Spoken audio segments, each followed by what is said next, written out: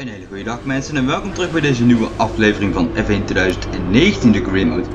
We gaan nog verder in Brazilië, ronde nummer 20 van de kampioenschap in aflevering 21. Als je de vorige aflevering mist hebt, zou ik die eerst even terugkijken wat je deze gaat zien. En wil je meer afleveringen zien van F1 2019 de Career Mode, druk dan gewoon op de abonnee-knop en druk dan gelijk op het belletje. Zet je op alles aan zodat je geen enkele video meer van mij mist.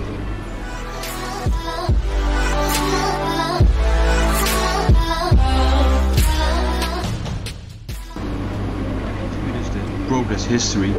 Eh, we klimmen wel een klein beetje weg van Renault, want we hadden namelijk een upgrade in Brazilië.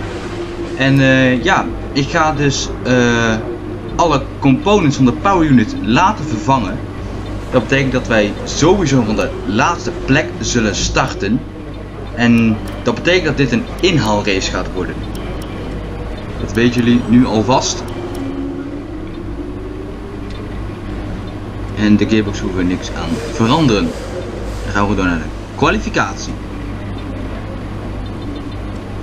Then to Interlagos as we await the green light to get today's qualifying session underway. And as we wait, poised for the start of what will hopefully be a thrilling qualifying, why don't you tell us, Anthony Davidson, about the things you can do to really get the most out of a car in a session like this? Well, you're largely limited by the Parc Ferme regulations, of course. Back in the old days, pre-2004, you'd work on both a qualifying setup and a race setup over practice, and then swap them over after qualifying. So the race car was quite different at times to the qualifying car. Nowadays, though, you have to find a compromise that works for both. There are a few things that you can still adjust during the session, such as the differential, the brake bias, and the front wing angle, but that's about it. So it's more about optimizing what you do have and adapting your own style to suit the track conditions.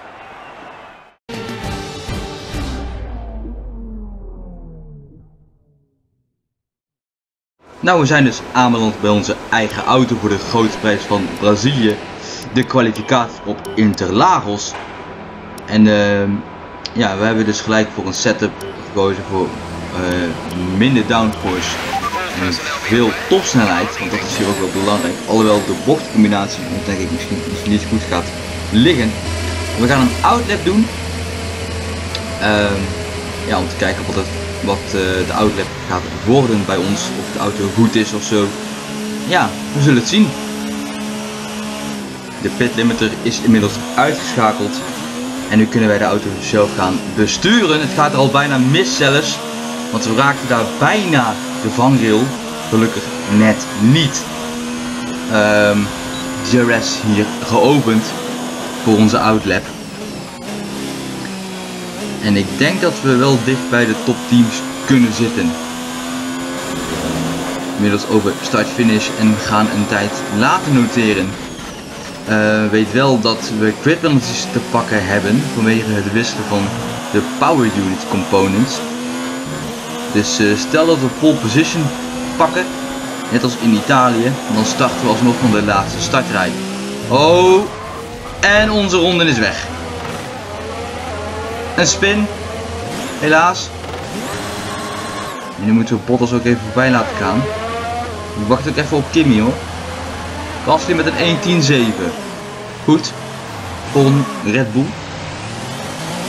Diezelfde Hulkenberg zagen wij toen net bij de pits. Want uh, de slipstreamde daar eventjes. Ja, en de, ja, de sector is... Uh, het gat is helemaal groot. 19 seconden op Gasly. Dus wij... Uh, ja... Halen sowieso niet eens P1. um, het wordt gewoon de laatste plek. Kijk maar. Een 1.32.0. Op 21 seconden van Gasly. Nou, top. Zelfs een Manor is sneller, maar die is er helaas niet meer. Groen is sector 1 en 2. Uh, sorry, ik zeg alleen 1, dat bedoel ik. Ja, toch sector 1 en 2 groen. Komen over start-finish. En we zetten een 1.11.1 neer. Goed genoeg. We gaan dus nu naar binnen.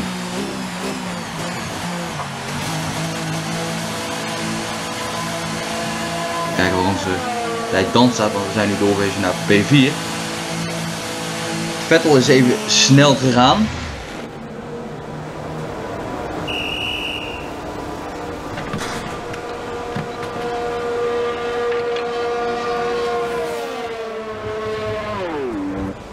Ook een Toro Rosso is binnen. Ik weet niet wie het is. Het boeit me ook eigenlijk helemaal niks wie dan het is. Ik ben wel benieuwd wat ze gaan doen met uh, Gasly en Albon, de Codemasters. Want Albon zit dit weekend uh, voor het eerst in de Red Bull, een raceweekend. En hier in deze game rijdt hij nog voor Toro Rosso. Dus ik ben benieuwd wat Codemasters gaat doen. 1.11.1 is onze snelste ronde tot nu toe, zegt Jeff. Met nog 11 minuten en 17 seconden op de klok. We hebben een extra set van de soft in Q1. 1.1 naar Hamilton. We gaan weer een outlap doen in Q1. Gewoon voor de zekerheid. V7 Raikkonen naar 6. Dus Alfa doet goede zaken. Hopelijk kunnen wij in seizoen 2 voor de titel gaan strijden. Want er komt een uh, regulations change aan. Dus ik ben benieuwd. Oh, dat was de vangrail, maar we hebben geen schade aan de voorvleugel gelukkig. Interessant. Ik had eigenlijk verwacht dat we een schade hadden, maar die hadden we dus niet blijkbaar. Inmiddels komen we over de start-finish en we gaan een tweede tijd laten noteren in Q1. Hopelijk dat we daar misschien nog wat uh, meer naar voren kunnen komen. Er zijn nog wel een paar man naar buiten gegaan, zie ik. Deze tijd was slecht, 1.3. We hebben nog, uh, ja, uh, sorry, tijd voor een nieuwe ronde, maar die doen we niet. We hielden, uh, sorry Lance Stroll wel even op. En we gaan dus nu gewoon naar binnen. De uitslag van Q1 met Hamilton op dit moment op de eerste plek, stap 2 Vettel 3 en wij op P7. En daar zie je dus de top 20. Dan gaan we door met de resterende 15 in Q2. Inmiddels aanbeland bij Q2. En je zag het daar bij de race. Ongeveer drie kwartier tegen het einde van de race kunnen we buien uh, hebben. En ik heb besloten dus om op de medium band te gaan uh, rijden in Q2. Waarom? Vanwege die buien. Ik weet niet wanneer ze komen. Dus ik kan nu, uh, voor mij lijkt het niet handigst om nu de medium band te blijven gebruiken. Um, ja, en dan zie ik wel wanneer die buien komen. Inmiddels een 1.11.5 op 33.000 van Bottas. Dus de mediumband is zo slecht nog niet, maar we gaan nu kijken naar de werkelijke tijden. En 18e dus een redelijk verschil, maar nog steeds in de top 10. We gaan dus weer naar buiten voor een tweede run in Q2. Weer op de mediumband, niet op de soft. En dan gaan we kijken of we misschien nog verder naar voren kunnen komen. Op dit moment P9. misschien... Uh, riskant, want als ik mijn tijd niet verbeter, dan moet ik hopen dat de anderen hun tijden ook niet gaan verbeteren. En vooral Carlos Sainz niet. En de rest, Raikkonen en uh, volgens mij uh, Williams, als ik dat goed zeg. DRS hier geopend. P10, ja, ik zei het, P10. We zitten dus op het randje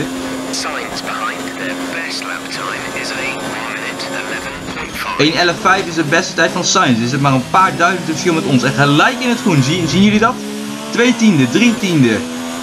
Dit, is, dit gaat de goede kant op. Nu is het weer 2 tiende. Dus dit gaat goed komen hoop ik. Vettel naar 9.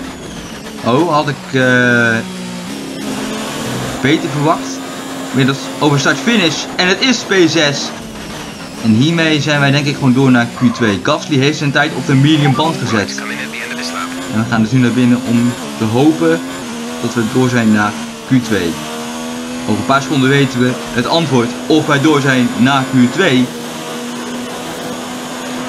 En we zijn door naar Q2 op de mediumband. Samen met Gasly ook op de mediumband.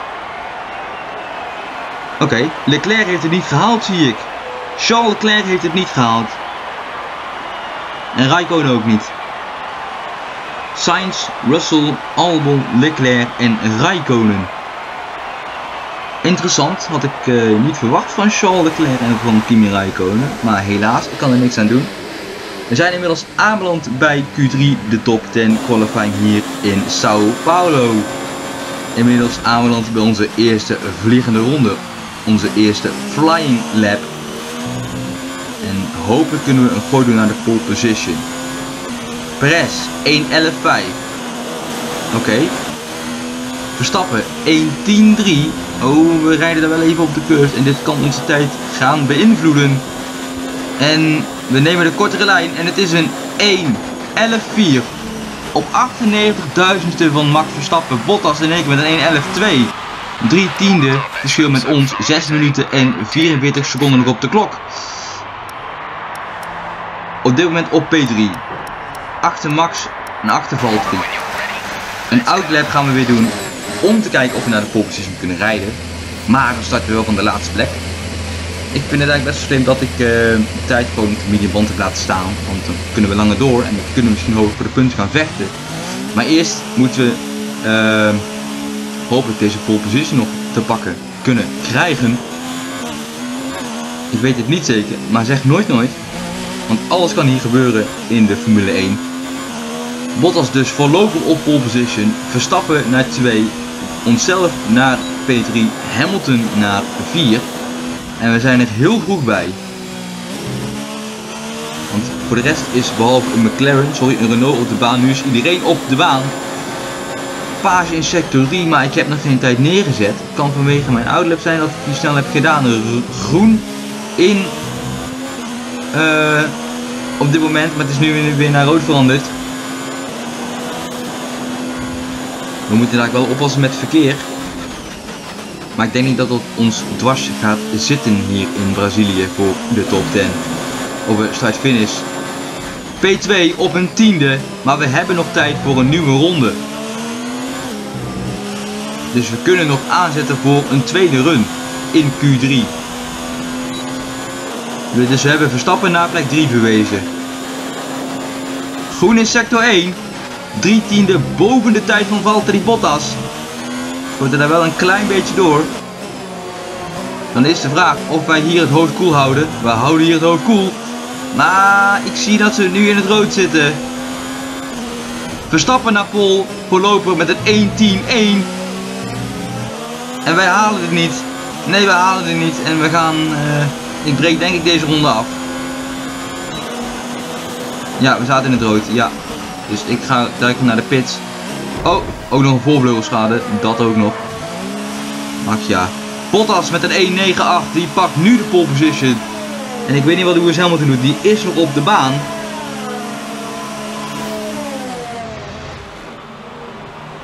Dus ik ben hartstikke benieuwd naar uh, wat de tijd van Hamilton wordt.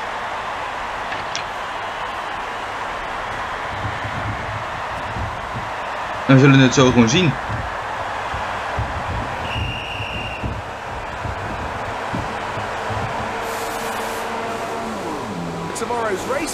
De uitslag Bottas op pol, Verstappen naar 2, Hamilton naar 3 en onszelf naar P4.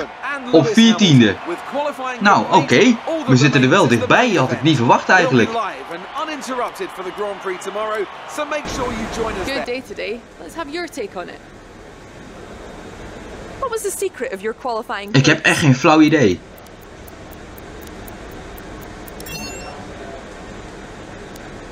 You left some bodywork out there on the track. Were you struggling for grip? Hmm. Ja, af en toe. Maar ik, ja. Oeh, dat, die uh, antwoord heeft ons niet goed gedaan in de reputatie voor Alfa.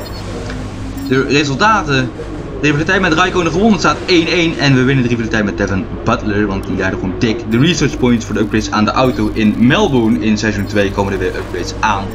Hopelijk kunnen we dan onszelf naar de top 3 vechten. Maar eerst nog Abu Dhabi. Rivaliteit gewonnen zie ik hier dus. Heel veel research points binnen gehaald. Reputatie is wat gedaald vanwege dat interview, maar dat kunnen we gewoon weer in Abu Dhabi oppakken. Respect level veteran en uh, sportsmanship toe. Emma bent nog gegeven met een qualifying pace of Jeff met een grid uh, penalties. Ja hoor, het is Jeff met de grid penalty. We zaten dus, uh, ja, achteraan dus, helemaal achteraan. En we gaan dus kijken of we onszelf naar de top kunnen vechten. We gaan het zien in Brazilië. Where there's a will, well, there's a way. And nowhere has that fact been better demonstrated over the years than here at Interlagos. Remember Senna winning while fighting a gearbox that was jammed in sixth? Five Drivers' Championship deciders in a row between 2005 and 2009. And of course, the passionate Brazilian fans packing the grandstands to capacity every year. And they're not about to stop now. Interlagos, always a very special race here in Brazil. It's a 2.7 mile circuit with 9 lefts and 6 rights for a total of 15 corners. The fastest lap today should have an average speed of around 135 miles per hour, if of course the weather stays dry until the end of the Grand Prix. Alongside me once again for coverage of today's race, it's none other than the great Anthony Davidson. Let's start with the new Alfa Romeo driver. What do you make of their performance so far this season? Well, the atmosphere within that team seems very positive at the moment. Everyone seems like they're in great spirits and having a lot of fun doing what they do, and that's definitely contributed to the performances we've seen. Nou, de grid voor de grote prijs van Brazilië Met Valtteri Bottas op pole position, daarachter Max Verstappen op nummer 2. Hamilton en Gasly 3 en 4. Vettel 5, Hulkenberg 6, knap van de Duitser, Weber 7, Grosjean 8.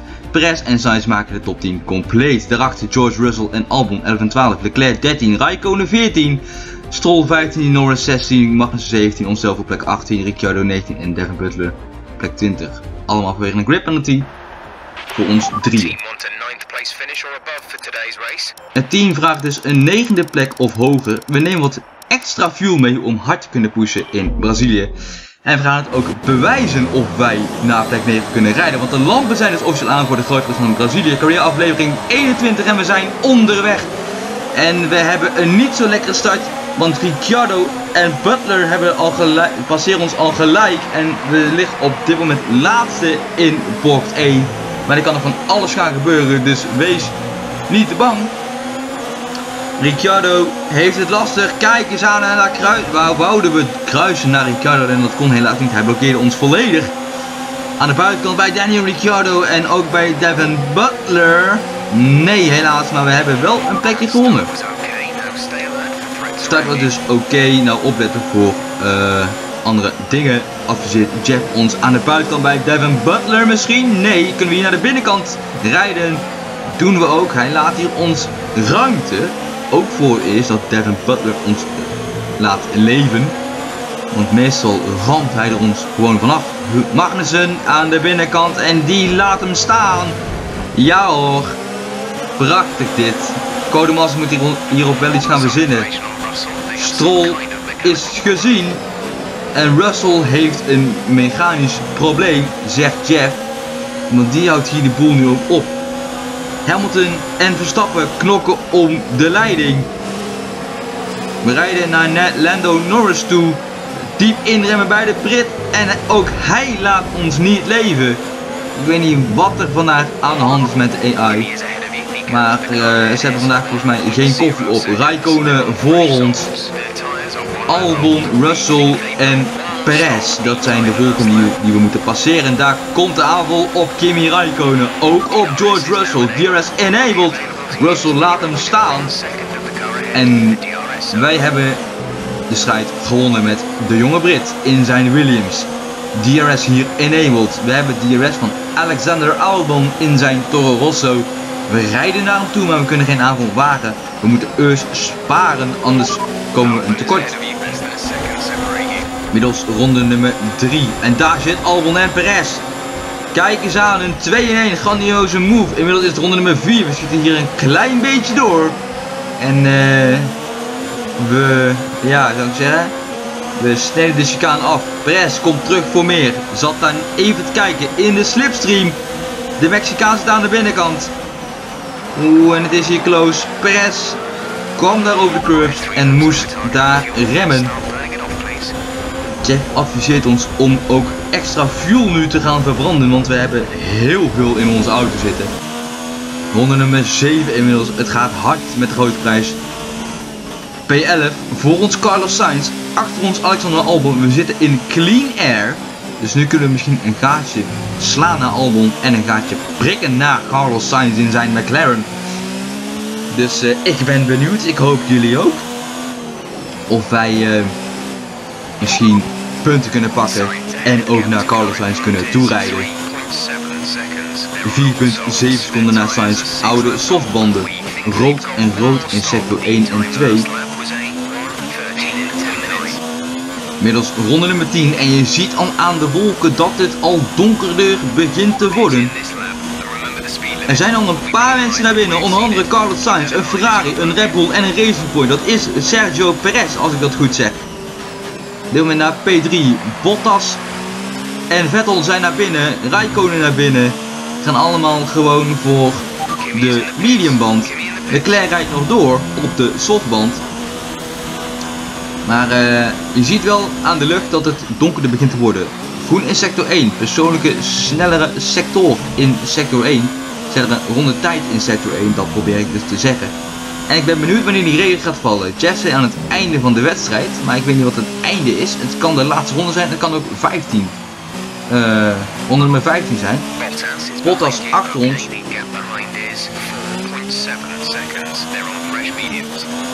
4,7 seconden naar Bottas op versere mediumbanden. Middels onder nummer 12 we leiden de wedstrijd.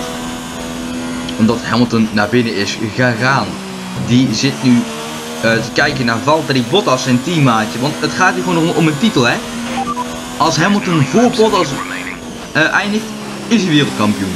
Dat is simpel. Dus ik denk gewoon dat Hamilton gewoon wereldkampioen wordt. Of Bottas moet een feest gaan bepesten. Maar dat, denk ze, denk ik dat ze dat bij Mercedes niet gaan tolereren dat Bottas gewoon als nummer 2 rijder wordt ingezet. Ik zie ook dat een Red Bull en een Ferrari het daar met elkaar aan de stok hebben. Vijf ronden, sorry, vijf minuten, ik heb het verkeerd staan, vijf minuten totdat de regen komt. Interessant, ik weet niet hoeveel ronde vijf minuten is, dus ik ga gewoon maar door, want ik weet het niet. Ronde nummer 13 inmiddels en ik heb besloten om naar binnen te duiken. Om deze 5 ronden nog op een verse set soft te rijden.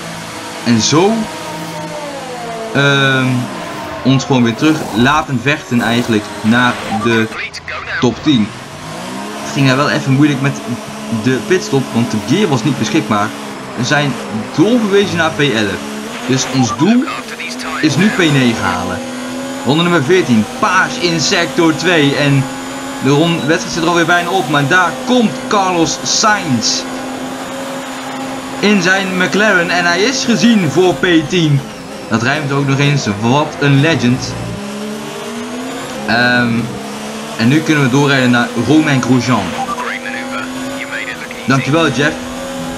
Ik waardeer het enorm. Kan Carlos Sainz hier nog terugkomen? Nee. Groen in sector 1. Nog 300 te gaan en de regen lijkt te komen hoor. Inmiddels zit Grosjean vast achter Nico Hulkenberg. Uh, sorry, paasje sector 3. En daar komen we met een aanval bij teammaat van Haas. We raken Romain Grosjean. Die heeft schade aan de voorvleugel. Snelste raceronde tot nu toe. Dat levert ons een extra punt op. Dus in plaats van 4 punten, als wij zo finishen, krijgen we 5 punten.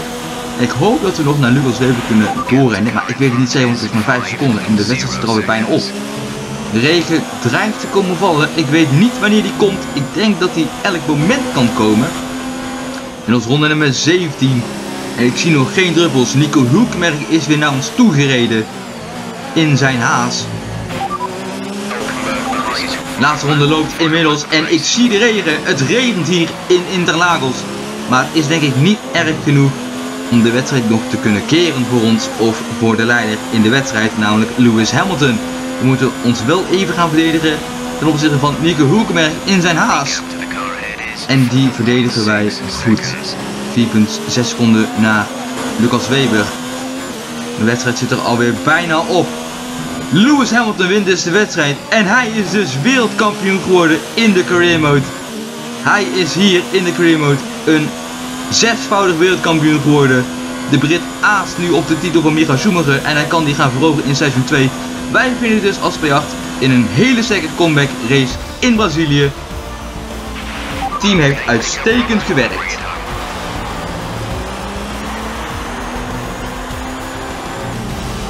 It's certainly been an incredible year for Formula One, and our drivers have all pushed themselves this season, making it one of the most compelling years of racing in history. There can only be one champion, however, and here they are now, our new Formula One World Drivers' Champion. So Mercedes have won it, and what a great race it was. What do you think it was, Ant, that gave them the edge over the competition today? Well, they certainly stood out as a driver with tons of confidence on the track. I think their ability to keep their cool, even during some of the more hectic parts of the race, meant they were able to capitalise on the mistakes of other drivers, giving them the opportunity to make their way to the top spot with ease.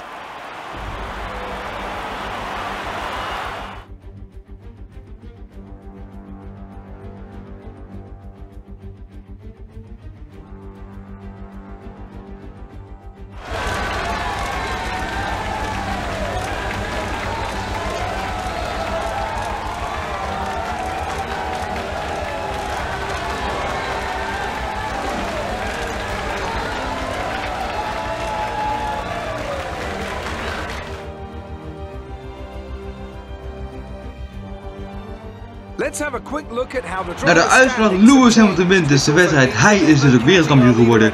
Bottas maakt podium compleet en wij zelf naar P8. Verstappen en Vettel hebben het nog met elkaar aan de stok. Leclerc na de puntenfinish. Ja, P8 met een extra punt. Super. En het is nog maar een 15 punt verschil met onszelf en Haas. Dus wij, hebben, wij zijn gewoon best of the rest geworden in het kampioenschap. Kimi Raikkonen is gezakt. Helaas geen punten voor Devin. Good day today. Let's have your take on it. There wasn't much between you and Lucas by the finish today. Nee, dat klopt. Het was erg close met mijn uh, F2 oud teamgenoot. En eh. Uh, ja.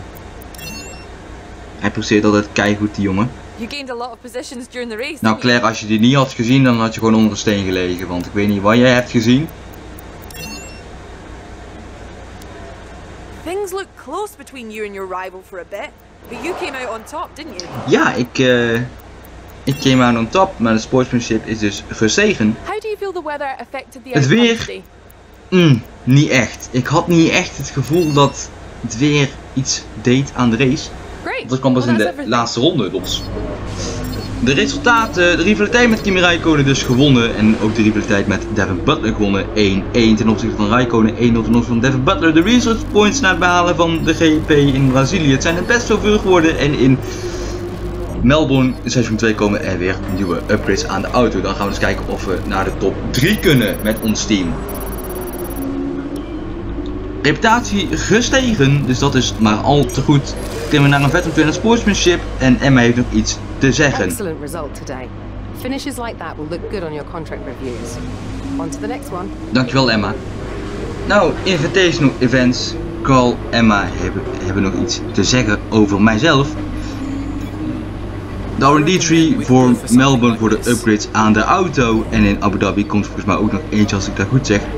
Nou, dit was dus de video mensen. Ik hoop dat jullie genoten hebben. Laat even een like achter als je genoten hebt.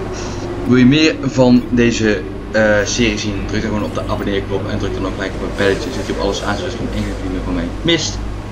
Uh, volg me even op de sociale, social media, sociale kanalen. Links in de beschrijving, Instagram, Facebook en Twitter. Uh, ja, en laat wel een reactie achter dat je genoten hebt op deze video. Zou ik zeggen, een fijne dag verder en tot ziens tot de volgende keer bij F1 2019 Creator. gaan we verder Abu Dhabi. Een fijne dag verder en tot ziens.